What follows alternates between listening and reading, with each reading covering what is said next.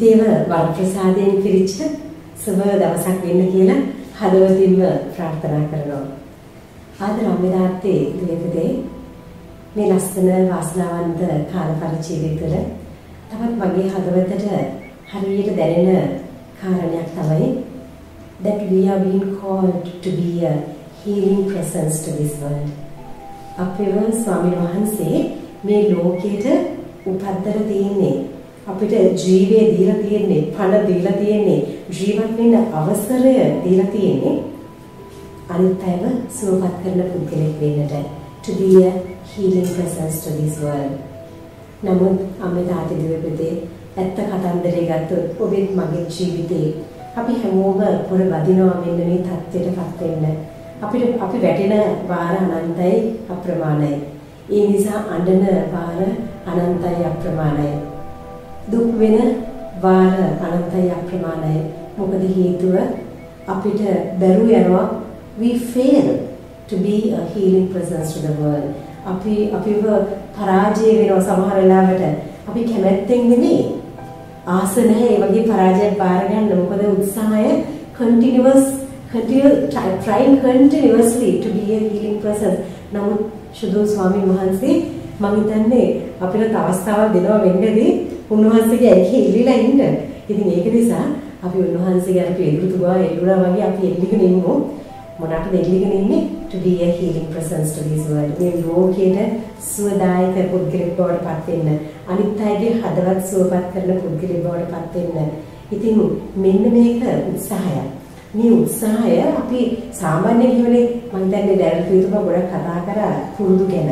ඉතින් මෙන්න මේ අපි අපේ ජීවිතේට යමක් අලුතෙන් එකතු කරගන්න අවශ්‍ය නම් අපි මොනවද කරන්නේ? ඒක නිතර නිතර ප්‍රැක්ටිස් කරන්න ඕනේ. නිතර නිතර ඒක අපි කරන්නට ඕනේ. හිතලා කරන්නට ඕනේ. consciously you must do it. එන්නේම නිරන්තරයෙන්ම නිරන්තරයෙන්ම නිතර නිතර නිතර නිතර වතාවක් වතාවක් ගානේ අපි හැම මොහොතකම හිතලා අපි ඒ දේ කරන්න පටන් ගත්තාම ඊට පස්සේ ඒක අපේ පුරුද්ද බවට පත් වෙනවා. හරියට නිකන් මේ වාහනයක් ඩ්‍රයිව් කරන්න ඉගෙන ගන්නකොට අපිට උගන්වන කියලා ළඟ ඉඳලා කියලා අපිට උගන්වනවානේ අපිට කියලා දෙනවානේ. මෙහෙම කරන්න මෙහෙම කරන්න මෙහෙම කරන්න මෙහෙම කරන්න කියලා කියනවානේ ඊට පස්සේ ඉතින් ඔය හොඳට අපි ඔය ලෝකෙට යන්නේ. අපි ඕන දෙයක් කරන්න පුළුවන් අපිට ඩ්‍රයිව් කරලා මෙහෙ බලන්න පුළුවන් මෙහෙ බලන්න පුළුවන් හෝන් ගන්න පුළුවන් බ්‍රේක් ගන්න පුළුවන් ඕවර්ටේක් කරන්න පුළුවන්. මේ හැම දෙයක්ම අන්තිම පුරුද්දක් බවට පත් වෙනවා. ඇස් දෙක වැඩ කරනවා අත් දෙක වැඩ කරනවා කකුල් දෙක වැඩ කරනවා.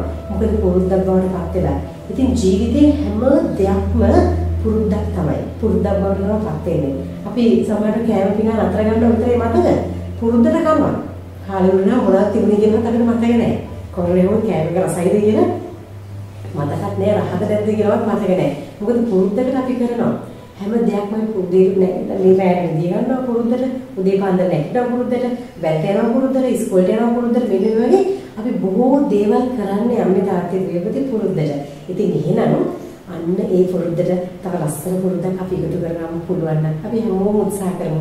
මේ කාල පරිච්ඡේද තුළ මම හිතන්නේ අපි කරන හැම උත්සාහයක්ම ස්වාමීන් වහන්සේගේ ආශිර්වාද අපිට ලැබෙයි කියලා මට හරියට විශ්වාසයි. ඉතින් ඒක නිසා ආදරන්නේ තාත්ති දේවදේ අපිට පුළුවන් නම් අපි උත්සාහ කරමු. අපි නිරන්තරයෙන් උත්සාහ කරමු. අපි අපිට අපි කියමු අපේ හිතට කියමු අපිත් එක්ක එකඟ වෙන්න කියලා. අපිට උදව් වෙන්න කියලා. අපි තුර ඉන්න ඒ අධ්‍යාත්මිකත්වය අපි එළියට ගමු. ස්වාමීන් වහන්සේ අපි තුර තියෙන ඒ ඩිවයින් පවර් එක අපේ ඒ දිව්‍යමය ශක්තියට කියමු අපිට අවශ්‍ය කරන ශක්තිය දෙන්න ස්වාමිනේ කියලා. බලයේ ජීවේ දෙන්න සුදු ස්වාමිනේ කියලා අපි නිරන්තරයෙන්ම ප්‍රාර්ථනා කරමු.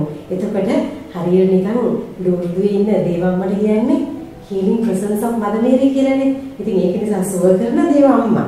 ඉතින් එහෙමනම් අපි හැමෝටම අපේ චරිතය අනිත් කෙනාට threat එකක් නෙමෙයි. අනිත් කෙනාව බය ගන්නන චරිතයක් නෙමෙයි. නමුත් ඒ අම්මා දේව අම්මා ලෝරුවට වෙලා ඉන්නවා වගේ අපේ ජීවිතය අපි එක එක්කෙනාගේ ජීවිතය අනිත් කෙනාගේ ජීවිතය සුවපත් කරන ජීවිතය. අපේ වචන අනිත් අයගේ ජීවිත සුවපත් කරන වචන බවට පත් වෙනවා. අපේ බැල්ම, අපේ ක්‍රියාකාරීත්වය, අපේ පෞරුෂය, අපේ හැම දෙයක්ම අපි පත් වෙලා ඉන්න තැන මේ හැම දෙයක්ම අනිත් කෙනාව සුව කරන පුද්ගලයෙක් බවට පත් වෙනවා.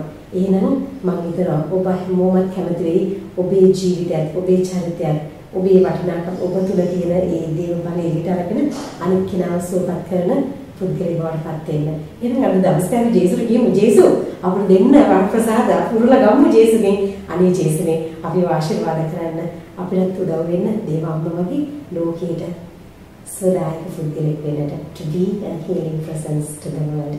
Let us become a healing presence to our own self so that in return we can be a healing presence to the world. එහෙනම් මේ වර ප්‍රසාදය ජේසුගෙන් අද අපිට හැමෝටම ලැබෙන්න කියලා ප්‍රාර්ථනා කරමු. ඔබ සියලු දෙනාට ජේසුගේ වහන්සේටයි